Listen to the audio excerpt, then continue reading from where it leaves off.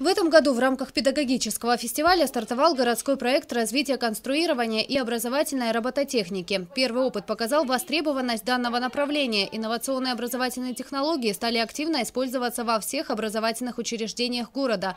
Но для того, чтобы правильно научить детей разбираться в робототехнике, сначала курсовую подготовку должны пройти педагоги.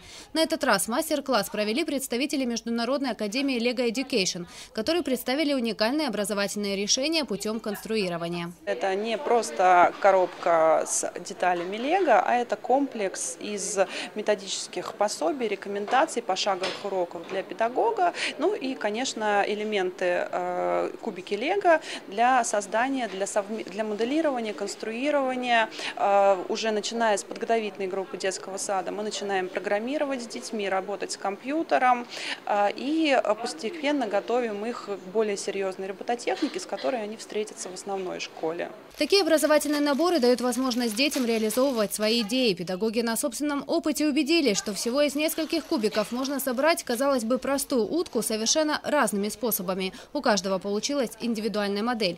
Педагоги утверждают, что конструировать детям нравится, ведь такие занятия не только активизируют мышление, но имеют еще множество плюсов в образовательном развитии ребенка. Это и мышление развивает, а, моторику, мелкую, крупную. Конечно, если этот э, крупный конструктор для малышей, естественно, это более успешно скажется на дальнейших занятиях, например, в рисовании.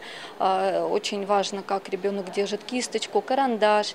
Это, конечно же, улучшит и для воспитателей это большой плюс, конечно. Заинтересованность российских школьников в программировании и робототехнике с каждым годом растет, и результаты уже есть. Так, в прошлом году на Международной робототехнической олимпиаде в Индонезии лидировали команды наших юных разработчиков. Кстати, уже скоро познакомиться с современными технологиями смогут и сочинцы. С 21 по 23 ноября в Олимпийском парке пройдет Международная робототехническая олимпиада.